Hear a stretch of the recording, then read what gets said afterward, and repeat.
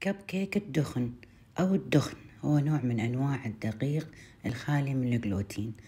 وراح أكتب لكم آه، عن مواصفات وخصائص هذا الدقيق أسفل البوست لأنه هو مليء جدا بالعناصر الغذائية المفيدة.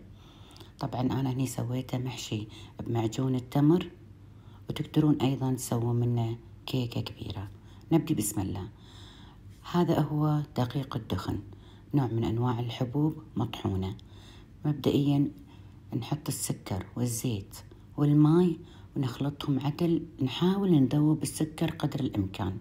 نخلط المواد الجافة الطحين والدقيق وال baking powder والملح وهيل ودارسين. ونخلط المواد الجافة نضيف نص الكمية على الماء والسكر.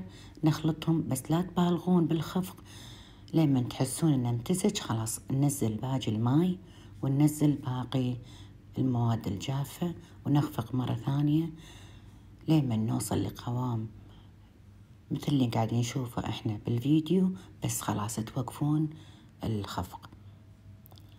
نحط أنا استخدمت أنا ملعقة الآيس كريم ننزل تقريبا قفشة واحدة وهذا عندي معجون التمر راح يلصق.